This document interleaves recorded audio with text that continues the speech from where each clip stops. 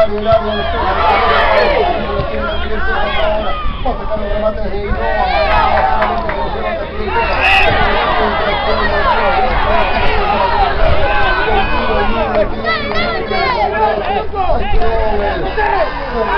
del área, que en realidad a unos 7, 8 metros del área, pero que va a caer buscando en la. Este chico la y debe, debe tener cuatro y automáticamente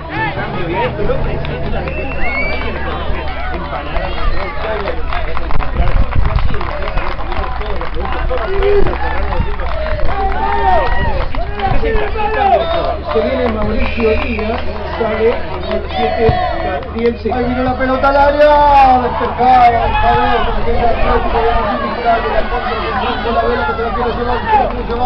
se le interponía justito a Gustavo López que le pega el puntazo de adelante la pelota, venía